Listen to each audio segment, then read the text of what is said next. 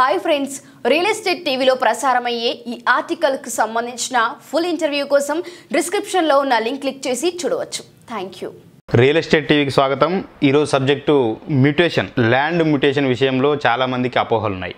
Land mutation చేయించుకోకుంటే ఎలాంటి నష్టాలు ఉంటాయి చేయించుకుంటే ఉండే ప్రయోజనాలు ఏమిటి అదేవిధంగా అసలు ల్యాండ్ మ్యూటేషన్ ఏ రకంగా చేస్తారు? ల్యాండ్ మ్యూటేషన్ ఎక్కడ చేస్తారు? ల్యాండ్ మ్యూటేషన్ కేవలం అగ్రికల్చర్ ల్యాండ్కే చేస్తారా? లేదంటే ఇండ్ల ప్లాట్లు అదేవిధంగా ఇతరత్ర ప్లాట్లకు కూడా చేస్తారా? ఈ అంశాలపై మనతో మాట్లాడేందుకు real estate expert N Anjay గారు ఉన్నారు. అంజయ్ గారు మ్యూటేషన్ విషయంలో అనేక అపోహలు ఉన్నాయి కొంతమంది ఏళ్ళ తరబడి కూడా మ్యూటేషన్ చేయించుకోరు.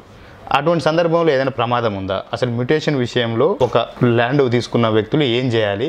అమ్మిన వాళ్ళు ఏం చేయాలి? ముటేషన్ అనేది ఒక వ్యవసాయ భూమి కొన్న తర్వాత ముటేషన్ చేపించుకోవడం అనేది తప్పనిసరి అండి ముటేషన్ చేపించుకుంటేనే మనకు అమ్మిన వారి పేరుని రెవెన్యూ రికార్డులలో తొలగించి మన పేరుని చేరుస్తారు.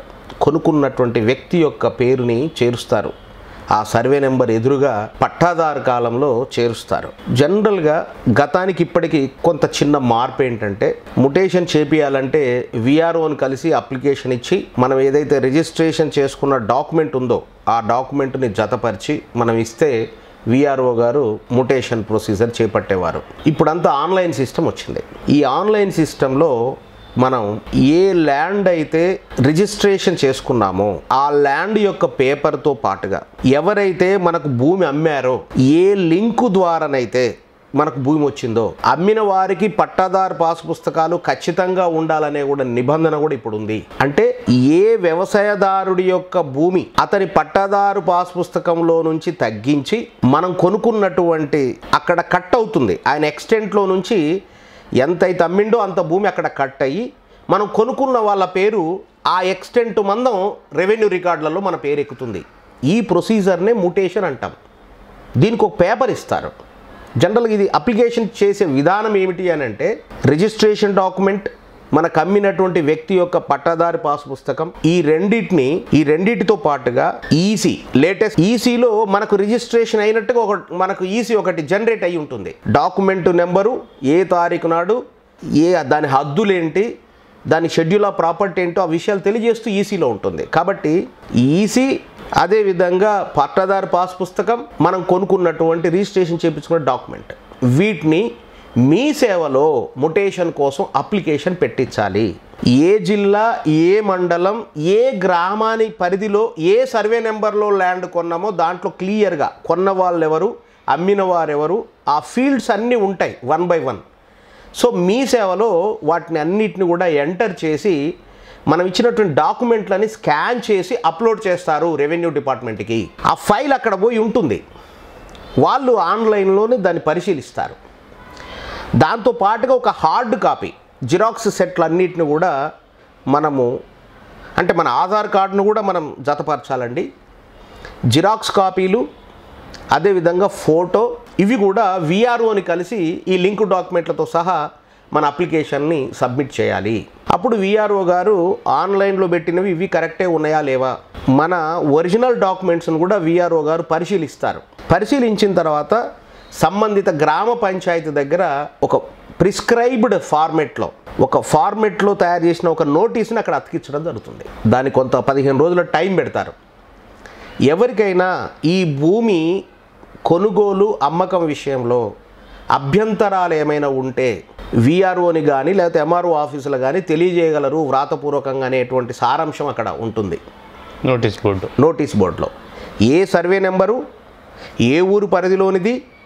ఎవరు అమ్మారు ఎవరు కొన్నారు ఎంత ఎక్స్టెంట్ కొన్నారు అనేటువంటి వివరాలు అక్కడ క్లియర్గా నోటీస్ బోర్డులో ఉంటాయి.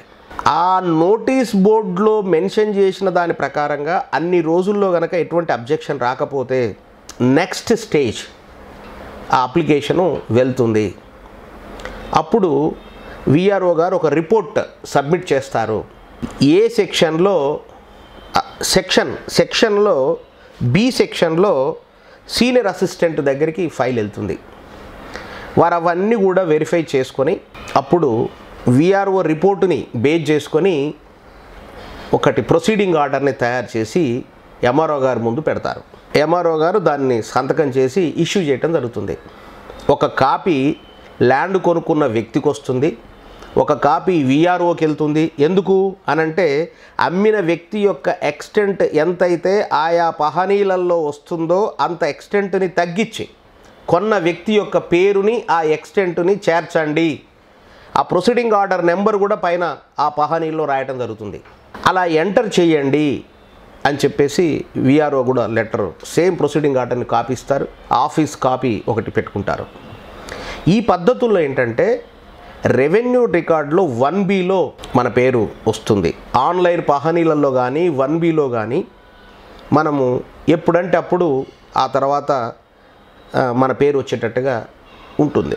ఈ ప్రొసీడింగ్ ఆర్డర్ ఇచ్చిన తర్వాత ఇంకొక స్టెప్ ఏంటంటే ఆన్లైన్ పహానీలో వన్ బిలో రిఫ్లెక్ట్ కావాలంటే మళ్ళా ధరణి అనేటువంటి ఒక దీంట్లో మళ్ళీ ఒక అప్లికేషన్ పెట్టాల్సిన పరిస్థితి ఇప్పుడు ఉంది ఆ ధరణిలో ఆ ధరణి దాంట్లో నుంచి అప్పుడు అప్లికెంట్ కూడా తన యొక్క ఆధార్ కార్డుని తన ఫోటోని తీసుకుని వెళ్ళినప్పుడు అక్కడ డిజిటల్ సిగ్నేచర్ చేయాల్సి ఉంటుంది. తమ్ ఇంప్రెషన్ అక్కడ ఆ మిషన్ మీద పెడితే అప్పుడు మన ఆధార్ కార్డు లింక్ అవుతుంది. లింక్ అయ్యి మన ఆధార్ కార్డు మీద ఏ ఫోటో అయితే ఉంటుందో ఇప్పుడు డిజిటల్ పాస్బుక్లు వచ్చినాయి. ఆ ఫోటో డిజిటల్ పాస్బుక్ మీద ప్రింట్ అవ్వడానికి వచ్చి అక్కడ చేరుతుంది. ఆ రకమైనటువంటి లింక్ ఏర్పాటు చేశారు ఇవాళ.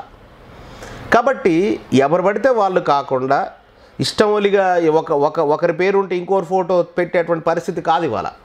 చాలా క్లియర్గా థంబ్ ఇంప్రెషను ఫోను ఏ ఫోన్ అయితే లింకప్ అయి ఉందో ఆ ఫోను అదేవిధంగా ఆధార్ కార్డులో ఉన్నటువంటి ఫోటో ఇవన్నీ కూడా దానికి ఆ పాస్బుక్ డిజిటల్ పాస్బుక్కి లింకప్ అయిపోయి ప్రింట్ వస్తుంది.